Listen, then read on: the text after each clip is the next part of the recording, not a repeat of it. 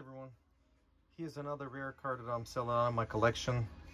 Uh, this is the Mitsubishi Lancer WRC 05 plain body version in black. Uh, 80528 by AUTOart. I just took it the first time out of the box. Uh, car is great except for one little problem. AUTOarts puts uh, clear straps on these things and I guess they dried over time and left a mark on the car.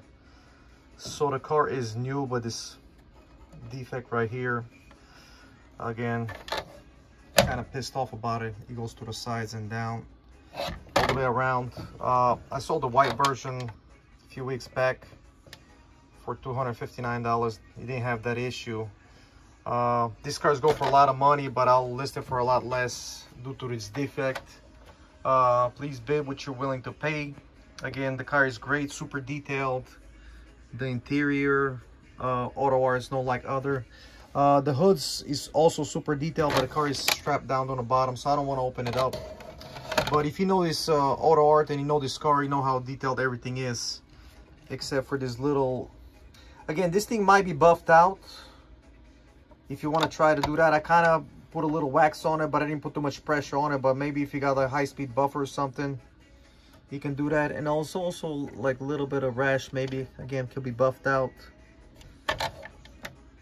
Here and there, you got a little bit of paint rash on it.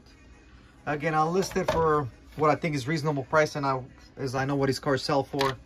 And I'll uh, let you bid on it, what you're willing to pay.